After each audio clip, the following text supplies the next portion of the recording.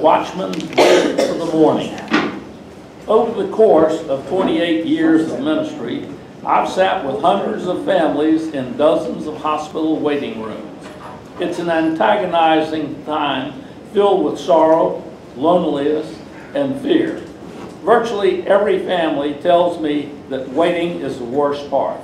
No one seems to enjoy this kind of passive waiting. But another kind of waiting moves to put up trees, light candles, and hang wreaths. This anticipation brings joy. It thrills our souls. We look forward to it all year long, waiting for the appearance of the Christ child. As we mark each day off the calendar, the excitement grows, moving us to acts of love and kindness toward friends and strangers alike. We wait full of hope because we know the good news is coming to a manger and into our hearts.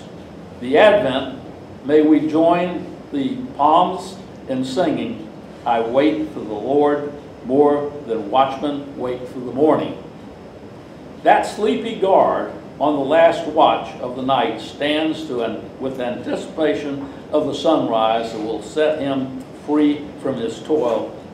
In a similar way, we wait for the month with excitement for the appearance of the Son who will set us free. Let us pray. Loving God, fill our lives with hope that moves us in acts of kindness. Amen. Stand and deliver. Oh dear. How are And you will. today? Doing well? You will.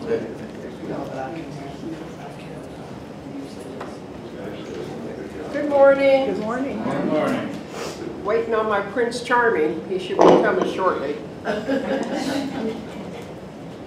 Oh, Did everybody have a lovely Thanksgiving? Amen. Oh, and everybody just ate their little, just one little small, Sir. Yes, at one time, and they didn't go back for more, and they didn't go on the sofa.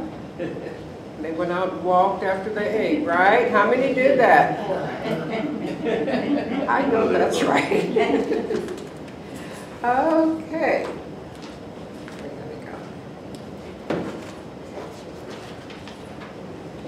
Today our lesson is trusting with hope.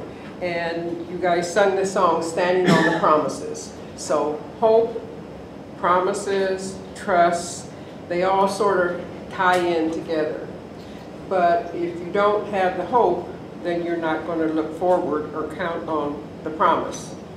So our lesson today, we're starting lesson one in the new series, and it's called Promise, our winter series. Trusting with hope. And our scripture, our background text is from Genesis. So as you see, they keep going back into the beginning with our Sunday school lessons because it seems like the world has got so far off from God.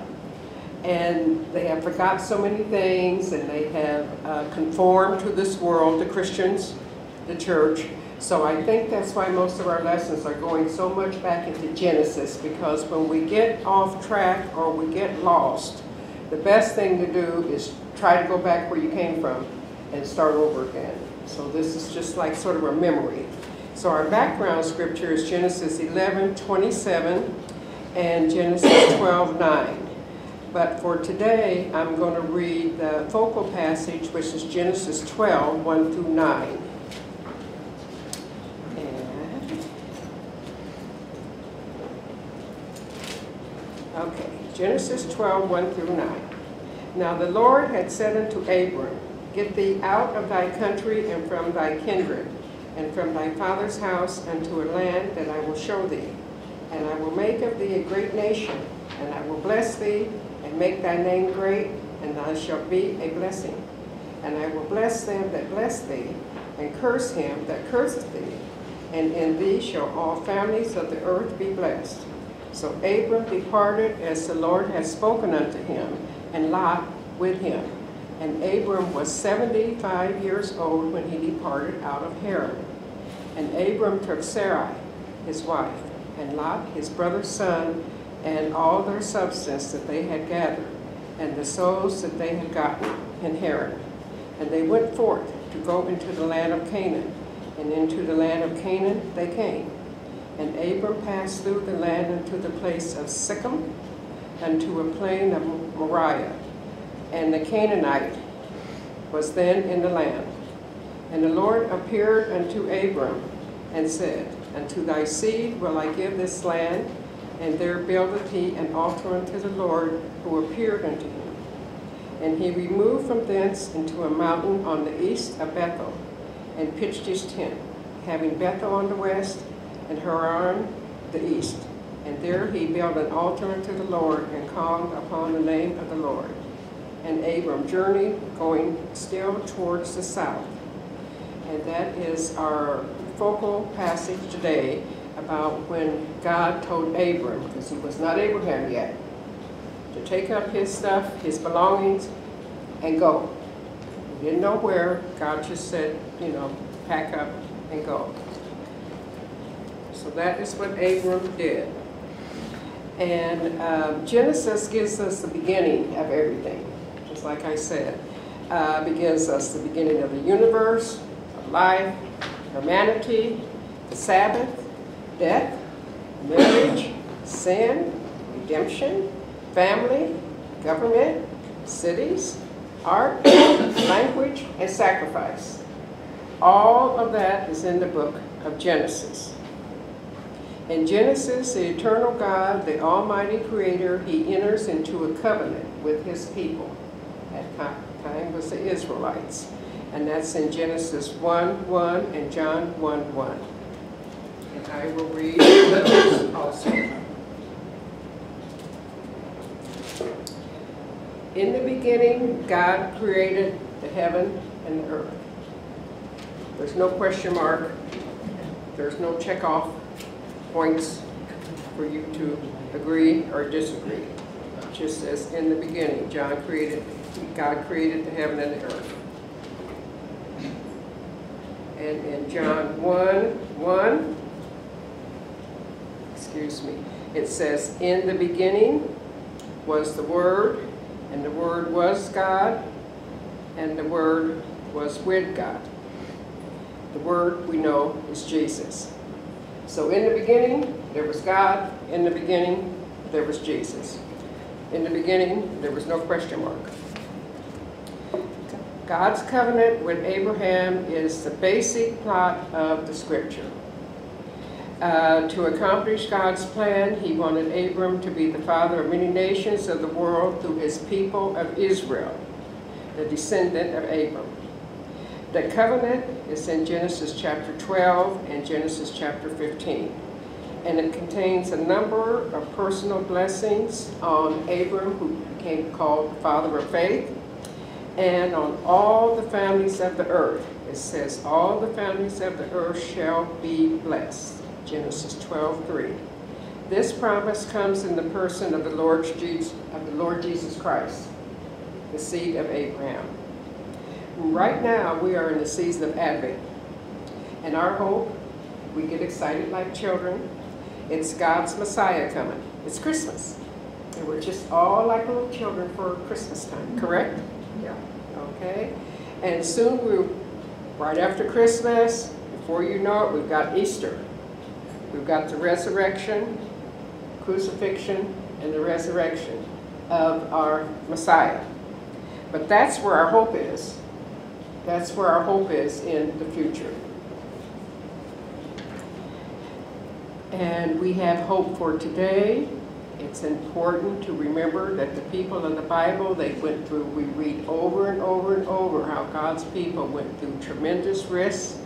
They did things that God asked them to do. Most of the time they did not know the details. He didn't give a list. He just said, do one thing, they would do that, and then be faithful and get continued on. And God does that with us too.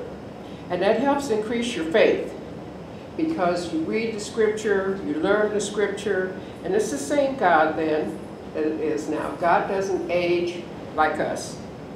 God doesn't forget us. or anyone around us or anything that has happened, will happen, or is going to happen, because he's in God, so he's in control, so he's got the whole plan. We just don't know, we're just part of it. We're just like, um, I guess you could say sort of like a stage play. And we all have an individual part, we don't know our parts, we don't know our future, but God does. And that's, that's our hope. That is our hope. And we need to recognize that our hope is trusting in the divine promise of God. And throughout our life, we ask that same question that the little one and two-year-old ask. And that question is, why? Why am I here? What am I supposed to do with my life? Is there a purpose in anything that happens in my life? How do I know what's right? How do I know what's really true? How do I know what's really false? You know, does anything I do really, really make a difference? And to who can I turn to for all these answers? Now, we as adults, we ask these questions. Our little nieces, nephews, grandchildren, great-grands, they ask these questions. They turn to us for the answers. We turn to God for the answers. We, as adults, we ask questions like, you know, why do people die? Why do people get so sick? Why are we suffering? You know, why did we lose our job? You know, I paid for my education, I got my degree. Why didn't I get the job I specialized in? Why don't I get the pay I should get? Why? Why? Why don't they let me be president of XYZ board? You know, why do they have this? Why do they have that? We continuously ask the question, why? And God has the answer to the whys in our life. Not all of the whys that we ask do we get answers. Sometimes we get the answer and we still don't understand, but God gives us the hope. We know we have our faith and hope in God. Just like that little children knows that mommy and daddy's going to give them food and clothing and shelter. That's the type of hope, faith we need to have in God. We know God's going to take care of it. We don't know how, but we know God's going to take care of it. And in Ecclesiastics chapter 1, verse 2, it says, Vanity of vanities, all is vanity. That means everything predominantly is pointless because everything's going to perish. Okay? Um, when I said pointless, I didn't want to get mixed up with the word hopeless because sometimes you say pointless and people just throw up their hands and say, what's the use of praying? What's the use of going to church? What's the use of this? What's the use of that? You know, you said that it was vanity, that it was all going to perish. So why am I doing it? We're not staying here in this world. We're passing through. Okay? So we might be, it might be pointless, some of the things that we do, but we're not hopeless.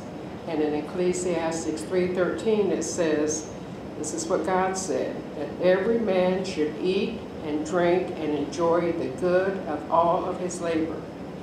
And it is a gift of God.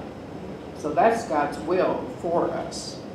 And Ecclesiastes 3.20, and when this life is over, all go one place. All are of the dust, and all turn to dust again. That doesn't make us feel too happy, but that's the mm-hmm. reality of it. So we just have our hope in God. Now, in between life and death, you know how you have your, in your obituary, you see the birth date, you see this dash, and then you see your checkout date. On that dash is where we're at. Thank goodness. Okay. Hang on to the dash, okay? Um, all things God can and will restore. He does restore our sanity when we get depressed, we don't know what's going on. He restores our hope. Life is not easy. He did not say it would be easy. He said to be faithful. He didn't say be easy. Our God knows that our hope is built on nothing less than Jesus Christ and His righteousness. And all who want to save their lives will lose them. That's scripture, that's Luke 9 24. But remember, Jesus said, All who lose their lives because of me will save them. And what that means is that you live your life for Christ, you don't live your life for self. Uh, we have a choice, and we can cling to the delusion that we make it on our own. You know, I, that I syndrome, I this, I that. Or we can acknowledge our ability not to be able to fix what's wrong. I don't know how many times in my life I have tried to fix what's wrong and made it so much worse. But we think sometimes that we can fix what's wrong. And sometimes we can, but we need to pray and go to the Holy Spirit. And He will guide us to fix some things in our life that are wrong. But we cannot fix the whole world and everybody in it. Um, we can respond in trust in the divine hope of God, now and in the future. Sort of swayed from the lesson, but I wanted to make sure that we understood the hope that we do have. When God summoned Abram to a new life in a new land, God gave a sevenfold promise of his divine blessing. And I'll give you those seven. Let's see here. The first one that God gave Abram was to make him a great nation. Now, given the fact that his wife, Sarah, was unable to have children, Abram, how am I going to be a father of a great nation? Okay? But that was God's first promise. His second promise was to bless Abram and provide for him, and he would not suffer. And we know the song, Great is Thy Faithfulness. Okay? And that is what kept Abram. He believed God. God said, You won't suffer. He didn't take much with him, but he said, You won't suffer and you won't, you know, want, you'll be okay. The third promise that he gave Abram was his name would be respected. Because every place he went, everybody didn't like him. That goes for us also. Everybody doesn't like us every place we go, hmm. whether we think they do or not. And unfortunately, we personally don't like everybody. We as Christians, we're supposed to, but when you get in the carnal mind and you get in reality, we don't. But God promised Abram that his name would be respected, and God does not break his promises. And the fourth promise to Abram was that he would be a blessing. Now, he didn't have a lot of belongings, so he probably wondered, well, how am I going to be a blessing when I've just got means for me and mine? But remember, it's God's promise. The fifth promise was to bless those who bless Abram. And the sixth problem, curse those who curse Abram. Oh boy, gotta be careful there. And the seventh promise was that Abram would by the means of all the families of the earth, he would bless them all.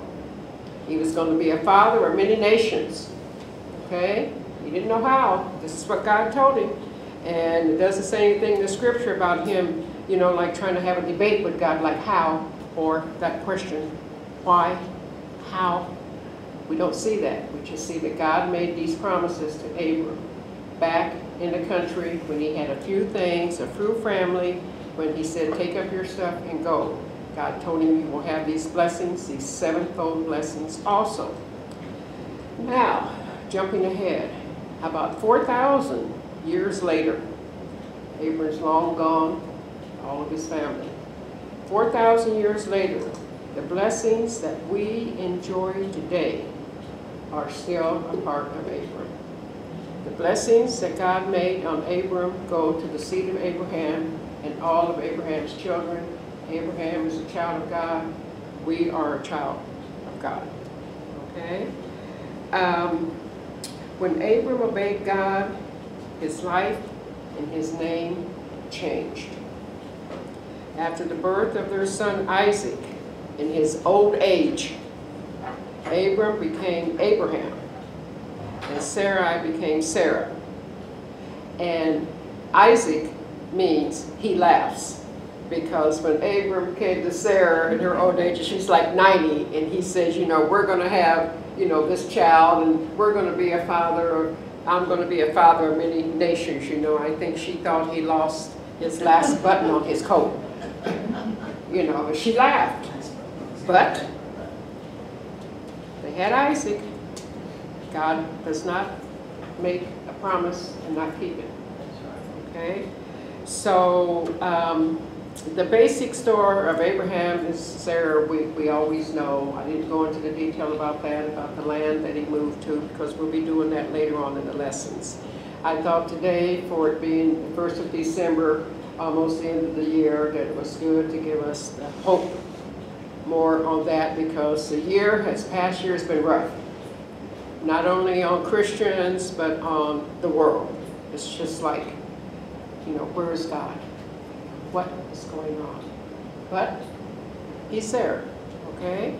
And then this time last year, you know, I was sick puppy. You know, everything was spinning and all kinds of things were going on, you know, but not today. So I thank God for that. So I wanted us to have the hope. Um, our closing prayer, is there any comments or questions first? Yes. You know, in the South, you can say something about someone as long as you say, well, bless their heart.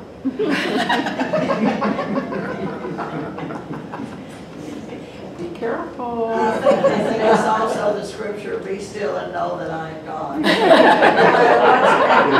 No matter what's going on in the world, he is still God. That's right. And That's in charge. That's right, that's right. So our closing prayer, thank you, God, for today and for tomorrow and for our family and for our life and for our hope that we have in your name, Jesus Christ.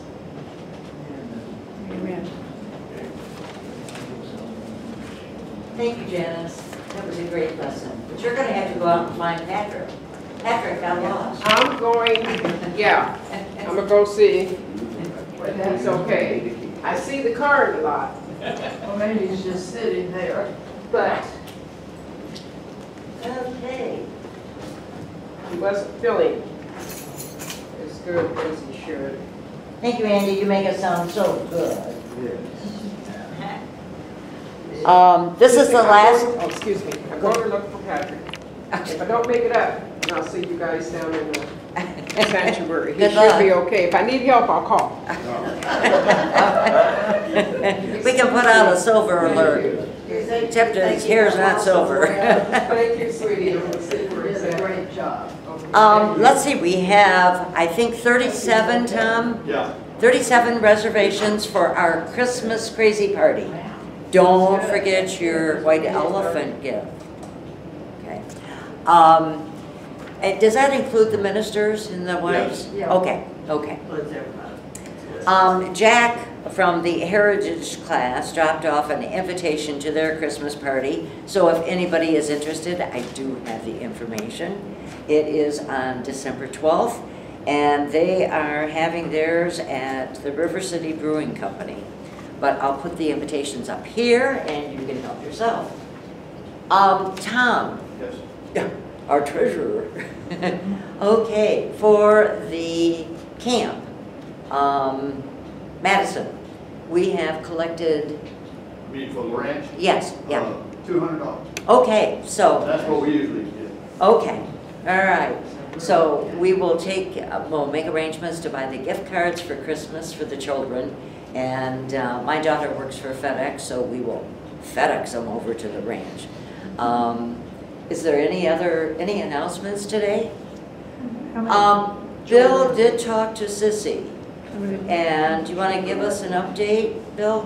Well, she is still, uh, her husband is at home now and requires 24-hour coverage. She still can't walk and he can't get up.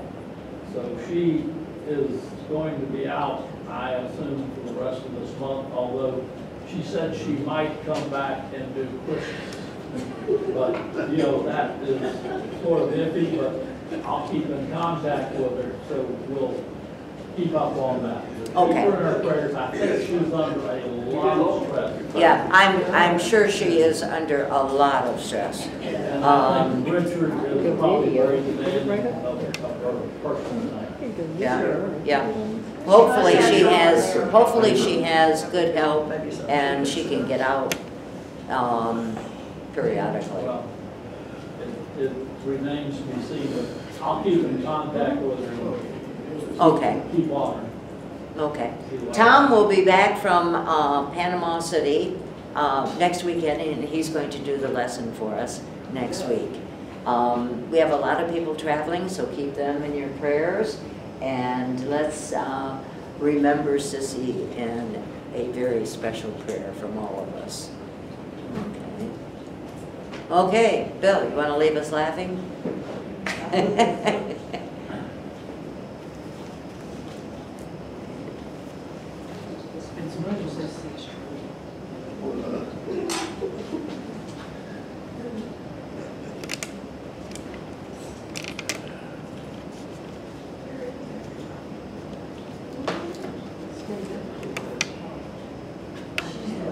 A man and his wife were driving their RV across the country and came to Florida and were nearing the town of Kissimmee. They noted the name on the sign and tried to figure out how to pronounce it. Kissimmee, Kissimmee, Kissimmee. And they argued that among themselves, but they were also hungry. So they pulled into a restaurant to get something to eat. At the counter, the man said to the waitress, "My wife and I can't figure out how to pronounce this place. Would you tell me where we are and say it very slowly so I can understand?" The waitress looked at him and said, "Burger King."